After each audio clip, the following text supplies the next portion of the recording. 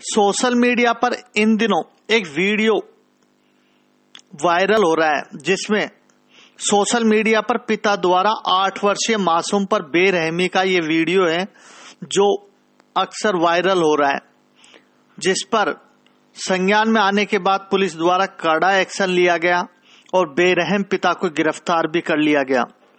मामला एक मासूम और उसके पिता से जुड़ा हुआ है।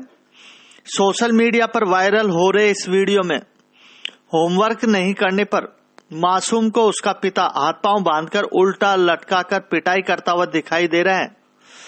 वहीं मासूम की माँ अपने मासूम को बचाने की कोशिश कर रही है और मासूम अपने पिता से गुहार लगाते हुए कह रहा है कि उसे उल्टा नहीं लटकाया जाए, बल्कि मार दिया जाए। बाप की इस करतूत का मासूम की माँ ने वीडियो बनाकर सोशल मीडिया पर वायरल कर दिया।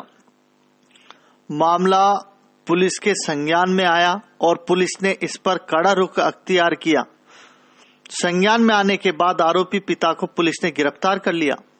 मामला चित्तौड़गढ़ ज़िले के राजपुर गाँव का बताया जा रहा है। हालाँकि बांदी कोई न्यूज़ इस वीडियो की पुष्टि नहीं करता। फिर भी एक मासूम के साथ इस तरीके की दरिंदगी उसके पिता द्वारा करना कितना गलत है। और पुलिस ने जो जिस तरीके का एक्शन लिया, वो काबिल तारीफ़ है। देखिए खास रिपोर्ट। इंटरनेट पे सोशल मीडिया में एक वीडियो वायरल हो रहा था, जिसके अंदर एक आदमी जो है, बच्चे को आठ साल का बच्चा था, उसको बुरी तरह मारपीट कर रहा था आमाने कर रहा था, उसको उल्टा लटका रहा था। बहुत ही मतलब उसके साथ ट्रीटमेंट बहुत ही गलत कर रहा था। जिसके बारे में ये वायरल होने की खबर आने पर मैंने सभी थाना एस को ये इसके बारे में पता लगाने के लिए ये घटना कहाँ की है, इसके बारे में लगाया, जिसमें जाबी एसएचओ ने मेरे को बताया कि ये घटना हमारे एरिया की है और ये व्यक्ति प्रजापति है, पुष्कर प्रजापति।